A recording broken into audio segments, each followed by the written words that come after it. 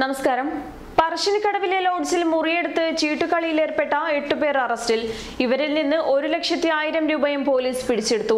ചിറക്കലിലെ K Majeed Taliparamba ഞാറ്റുവയലിലെ K K Ashraf Taliparamba കാക്കാത്തോട്ടിലെ P M Muhammad Zakir തളിപ്പറമ്പിലെ എ പി അഷ്റഫ് വെള്ളോറ കോയിപ്രയിലെ എ പി ഷെരീഫ് സിദി സാഹിബ് ഹൈസ്കൂളിന് സമീപത്തെ ടി വി സിദ്ദിഖ് പാവന്നൂർ മൊട്ടയിലെ രാമചന്ദ്രൻ കാട്ടാമ്പള്ളിയിലെ എ സൈനുദ്ദീൻ എന്നിവരെയാണ് Taliparamba S I K P ഷൈനിന്റെ നേതൃത്വത്തിൽ അറസ്റ്റ് ചെയ്തത്.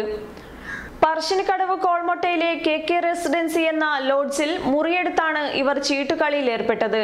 രാത്രി എട്ടോടെ രഹസ്യ വിവരം ലഭിച്ചതിനെ തുടർന്നാണ് പോലീസ് റെയ്ഡ് നടത്തിയത്.